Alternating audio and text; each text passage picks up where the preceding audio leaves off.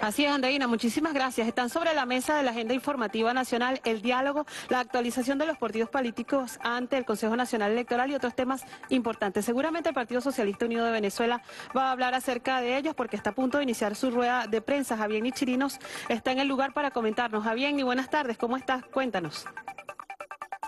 Sí, muy buenas tardes, Jessica. En este momento ya se hará inicio lo que es la acostumbrada rueda de prensa que realiza el Partido Socialista Unido de Venezuela, realizando importantes anuncios lo que son los acontecimientos de la semana. De inmediato vamos a escuchar las declaraciones de Héctor Rodríguez, quien es integrante nacional del Partido Socialista Unido de Venezuela.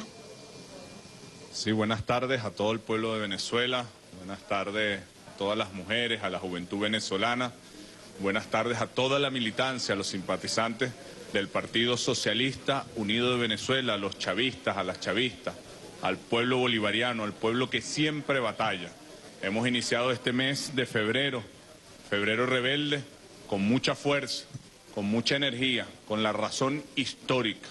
Arrancamos celebrando los 200 años de Zamora. Queremos felicitar al pueblo venezolano, a la Fuerza Armada por ese extraordinario desfile cívico-militar y también felicitar todas las actividades que a lo largo y ancho del territorio nacional se han desarrollado para conmemorar el aniversario, el bicentenario del general del pueblo, del hombre valiente, Ezequiel Zamora.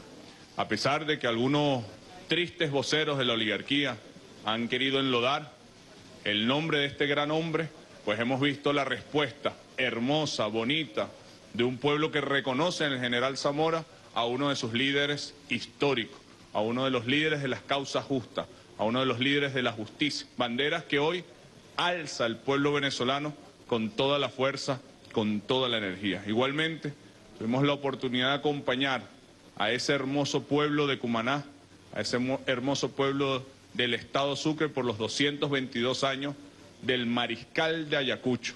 Queremos desde el partido, desde la Dirección Nacional del Partido, felicitar al pueblo cumanés, especialmente a las mujeres cumanés, por parir ese ejemplo de juventud, ese ejemplo de lealtad, ese ejemplo de disciplina que fue el mariscal Ayacucho. Y también aprovechamos para saludar eh, al compañero Luis Acuña y agradecerle todo el esfuerzo que hizo y pedir todo el apoyo de la militancia, de las VC, de los CLP, de los jefes de calle y además declarar el reconocimiento y el acompañamiento absoluto de la Dirección Nacional del Partido a ese joven nuevo gobernador, el compañero Edwin Rojas, quien viene, además de ser diputado del bloque de la patria, ha hecho un extraordinario trabajo y le toca ahora sustituir al profesor Luis Acuña. Sabemos que va a inyectar toda la energía que lo caracteriza, toda la capacidad que lo caracteriza, con la gran experiencia que tiene y pues va a contar con todo el apoyo de la Dirección Nacional. También tuvimos la oportunidad de celebrar este 4 de febrero, 25 años de aquella rebelión militar, en un Estado, en un país, en una sociedad que estaba de rodillas ante las políticas neoliberales, planteando la privatización, con una corrupción generalizada, con unos actores políticos que hoy son los mismos que representan la oposición, desconociendo sus responsabilidades. Y en esa situación desolada de la Venezuela de los 90, un joven militar se paró al frente del país y reconoció, asumió su responsabilidad histórica. Desde ese día la mayoría de este pueblo venezolano nos hemos sentido eh, liderados y acompañados por ese gran liderazgo del comandante Hugo Chávez, quien se fue a las calles a acompañar las causas nobles del proyecto de Bolívar, del proyecto de Zamora, del proyecto de Rodríguez. Así que celebramos en Unión Cívico-Militar en el cuartel Páez los 25 años de la rebelión militar. Que viva el comandante Chávez. También queremos saludar desde la Dirección Nacional e insistir de forma terca, de forma necia, con paciencia estratégica, en la necesidad del diálogo nacional. Hay quienes quieren que las diferencias que existen, que han existido históricamente, desde hace 500 años de un lado estamos los que estamos dispuestos a todo por ser libres, los que estamos dispuestos a todos por la igualdad, por la justicia, y del otro lado están los que creen que pueden hacer de nosotros un pueblo esclavo, un pueblo colonia al imperio del momento. Hoy esas mismas diferencias existen y mañana seguramente seguirán existiendo. El gran debate es si esas diferencias las dirimimos por el camino que abrió Chávez de la democracia, de la constitución, o si las dirimimos por la guarimba, si las resolvemos degollando motorizados, quemando Simoncito. Un pequeño sector de la sociedad venezolana, lleno de odio que le ha sembrado su dirigencia, quiere llevar al país a la conflictividad. El presidente Nicolás Maduro, la revolución bolivariana, extiende sus manos e invita y seguirá invitando al diálogo, al debate. Tenemos que imponer la paz, tenemos que imponer la constitución, tenemos que imponer la democracia. Por eso apoyamos desde el Partido Socialista Unido de Venezuela la insistente convocatoria al diálogo, al debate, a la paz que hace el presidente Nicolás Maduro, quien ha sido garantía durante estos largos años de que en Venezuela no se imponga la guarimba, sino que se imponga la paz. Esta semana es la semana de la juventud. El día domingo se celebrará el 12 de febrero y el Partido Socialista Unido de Venezuela, la juventud del Partido Socialista, la Federación de Estudiantes de Educación Media, de Estudiantes Universitarios, el movimiento Robert Serra, que está en todas las comunidades, ha iniciado una gran jornada de actividades. Hoy celebrando el cumpleaños de Fabricio Ojeda, que recientemente, justamente, fue llevado al Panteón Nacional. Mañana habrá reunión de autoridades de juventud de toda la UNASUR. El día miércoles vamos a tener un programa especial del Mazo Dando con la juventud venezolana. El día jueves vamos a tener Congreso de la Patria con los jóvenes de los distintos sectores, jóvenes estudiantes, jóvenes campesinos, jóvenes trabajadores, jóvenes que ya no son perseguidos por la recluta obligatoria, por la ley de vagos y maleantes, jóvenes que hoy pueden estudiar hasta una carrera universitaria de forma gratuita en cualquier municipio del país. Jóvenes que además repolitizados, que asumen su papel histórico y que están dispuestos a construir un futuro mejor. El día jueves también tendremos jueves de vivienda para la juventud. Queremos agradecer en nombre de la juventud venezolana al presidente Nicolás Maduro. De la misión vivienda, casi el 60% de las viviendas entregadas son para familias jóvenes, familias que están iniciando su vida en pareja, está iniciando el noviazgo, el matrimonio y también los puestos de trabajo generados por la Gran Misión Vivienda Venezuela, en casi un 80% es para la juventud venezolana. El día viernes seguiremos con actividades de becas, de financiamiento. El día eh, sábado igual y el día viernes queremos convocar a la gran movilización, como lo hacemos todos los años, de la juventud bolivariana, de la juventud chavista, de la juventud que ama este país, que apuesta a este país, que quiere un futuro en este país y que más que quererlo construye todos los días un futuro para este país. Así que convocamos a toda la juventud venezolana, chavista, bolivariana, utilizarnos el día domingo desde eh, la Universidad de las Artes, universidad creada en tiempos de revolución, a toda la juventud venezolana a movilizarse. También ese mismo día, el día domingo, vamos a tener un desfile cívico-militar en La Victoria donde se dio esa gran batalla de la juventud.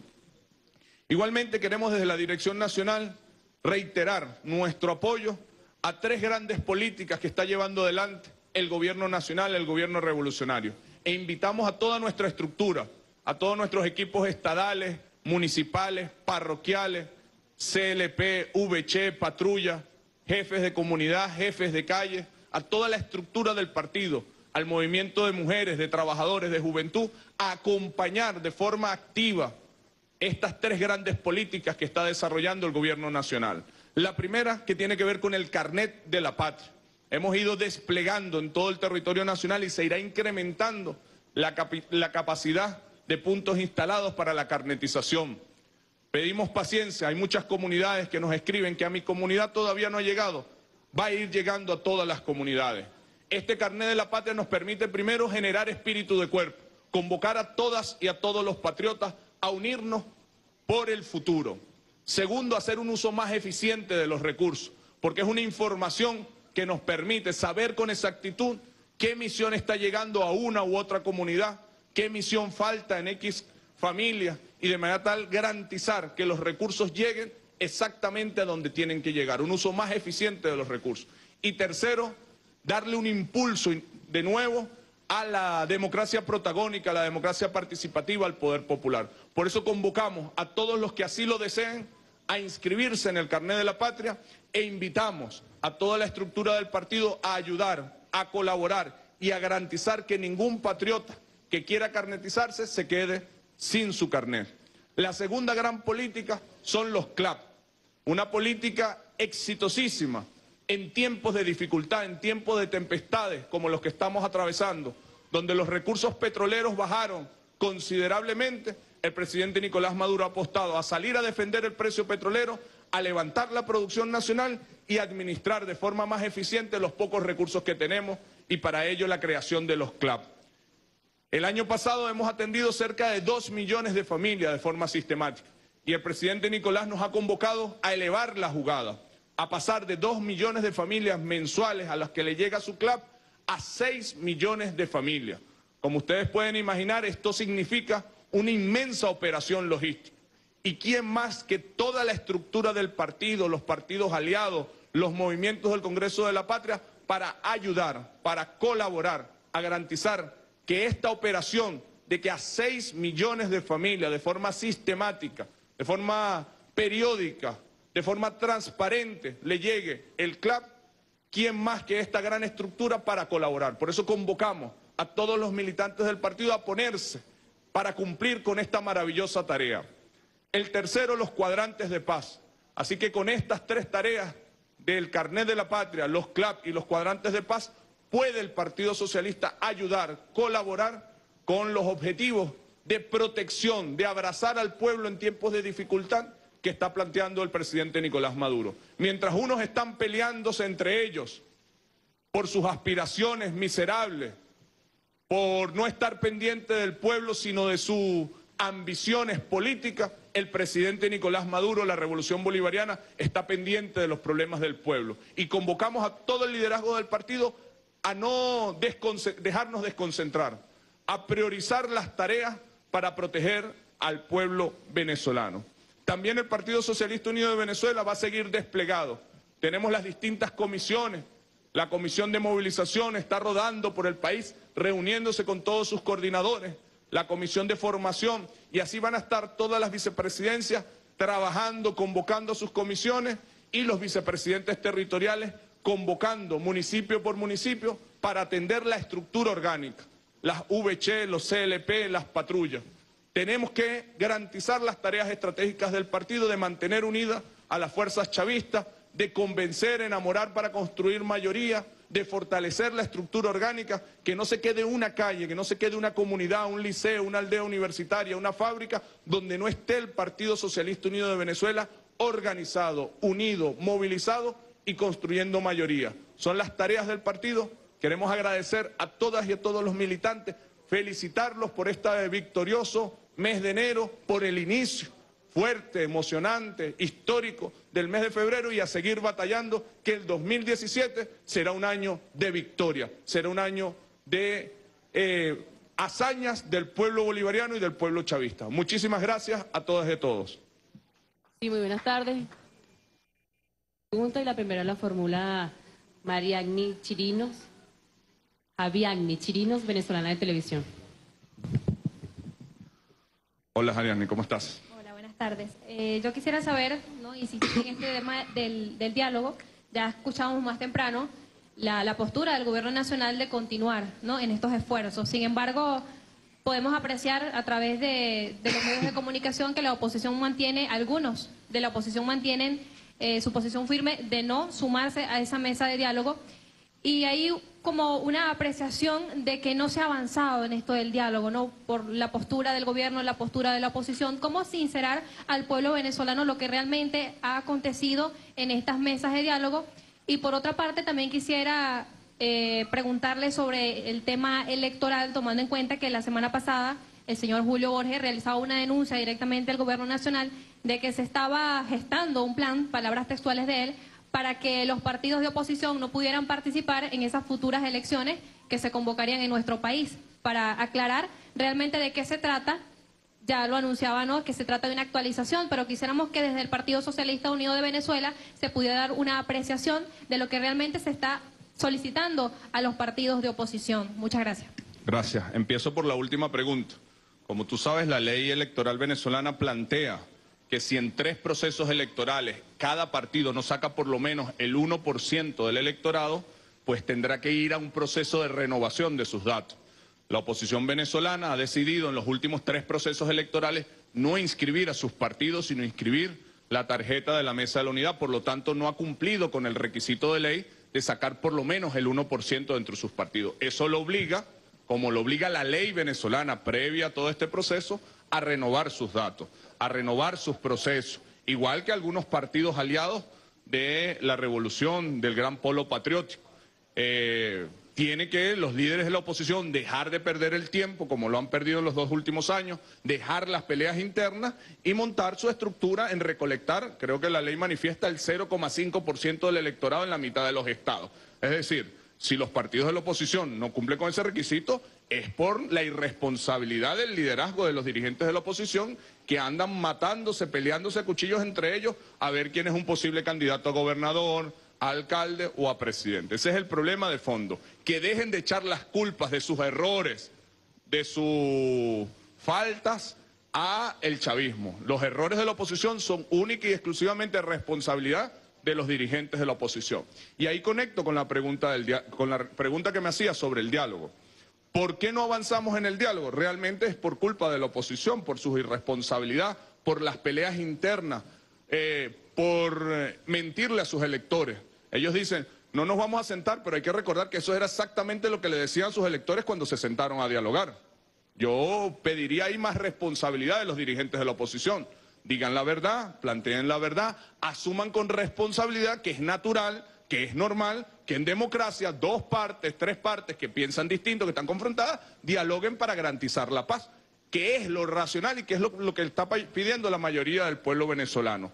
¿Cuánto tiempo hubiésemos ahorrado si en el 2016, en vez de arrancar diciendo te voy a derrocar en seis meses, te voy a aplicar la Carta Democrática, hubiesen dicho, epa, nosotros pensamos distinto a ustedes, el país está atravesando una emergencia, aquí estamos a la orden para trabajar juntos para salir de la emergencia. Pero en vez de priorizar el país, la oposición priorizó sus ambiciones personales, sus peleas internas. Tengo entendido que ahora se están peleando por quién es el secretario de la mesa de la unidad, porque si el secretario es más cercano a Julio y no al gobernador de Miranda, no puede ser que los venezolanos y sobre todo el pueblo que sigue a la oposición tenga que sufrir por culpa de las peleas internas de la oposición. Yo creo, yo haría un llamado a los dirigentes de la oposición a que sean más responsables con el país, a que den la cara, a que digan la verdad, a que no generen falsas expectativas. Ellos arrancaron el mes diciendo, vamos a declarar el abandono del cargo del presidente y en 30 días vamos a llamar elecciones. Ajá, pasaron los 30 días. ¿Qué pasó? El presidente sigue ejerciendo sus funciones porque hacen la política desde la irracionalidad desde la locura, desde las ambiciones personales, y eso le hace daño a ellos. Y si fuese nada más eso, uno diría, bueno, ¿y para qué el chavismo se preocupa por eso? También le hace daño al país tener una oposición tan irresponsable, tan mentirosa y que genera tanta frustración, que genera rabia, odio en un sector de la población. Por ese sector que tiene rabia, que tiene odio, es que nosotros tenemos la obligación, así, así sea ese sector minoría, a llamar siempre al diálogo y a la paz. Nosotros no queremos que en Venezuela se vuelva a generar un escenario como el del 2014, un escenario de violencia, un escenario de guarimba. Yo estoy seguro que la mayoría de los venezolanos, incluyendo gran sector de venezolanos y venezolanas que son de oposición, aún no siendo dirigentes políticos, incluso ellos no queremos la guerra, no queremos guarimba, no queremos que tú vayas a salir de tu apartamento y no puedas salir porque hay una guarimba afuera, no queremos que el humo ahogue a un abuelito que vive en un apartamento. Entonces, cuando estamos planteando esto, lo planteamos por la paz del país, lo planteamos porque tiene que dirimirse las diferencias políticas que existen y van a seguir existiendo, porque es lo natural de una democracia, tienen que dirimirse racionalmente, en paz, y es natural que los dirigentes dialoguen.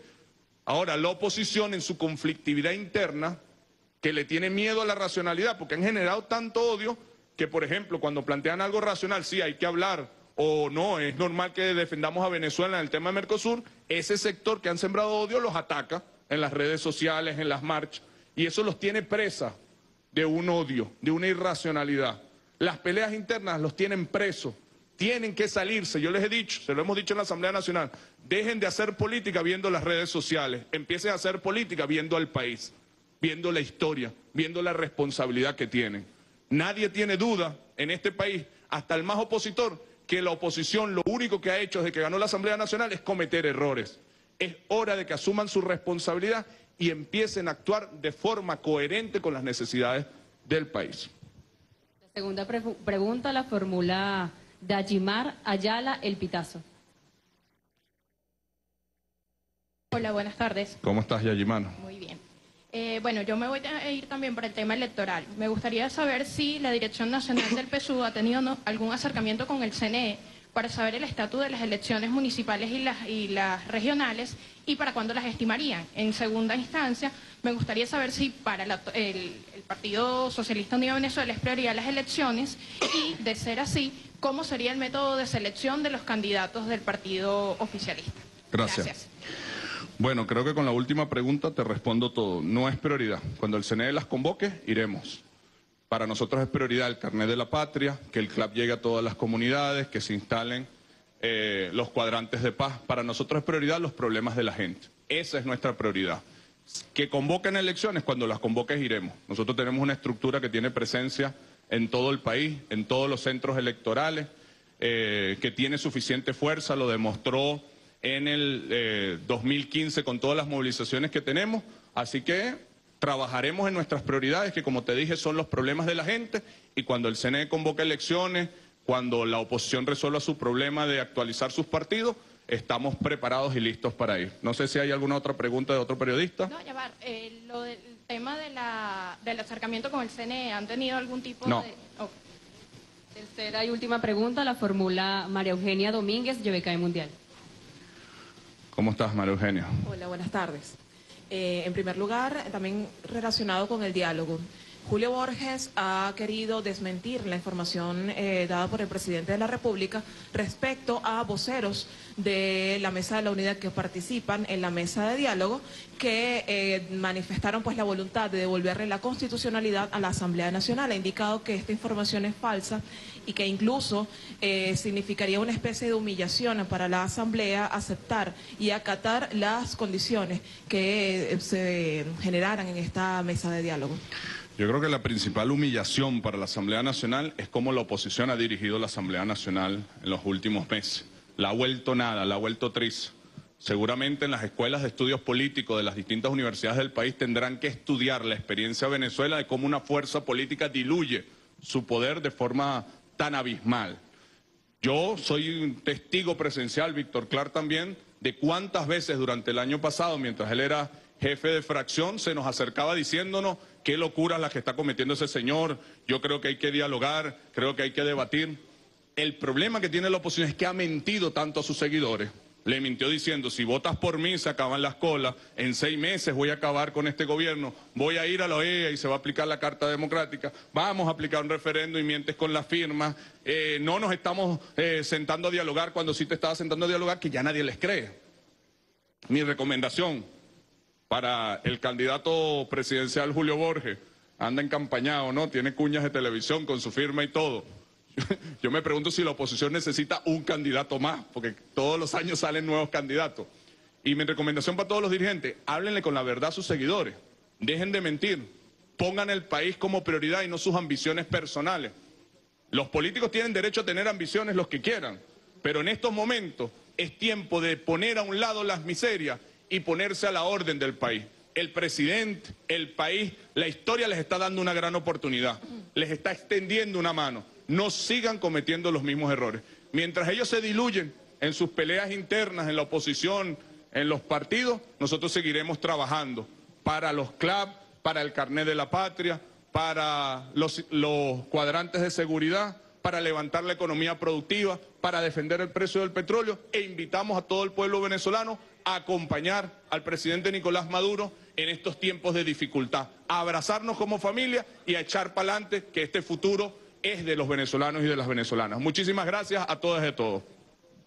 De Héctor Rodríguez, integrante de la Dirección Nacional del Partido Socialista Unido de Venezuela, quien daba un balance sobre lo que han sido los acontecimientos que han realizado las fuerzas revolucionarias durante esta semana. También insistía en mantenerse en la propuesta del presidente de diálogo. También decía que la prioridad del gobierno nacional es atender las necesidades del pueblo venezolano. Es la información que podemos ofrecer desde el Parque Hugo Chávez y con ella retornamos nuevamente el contacto a los estudios. Adelante. Muchísimas gracias.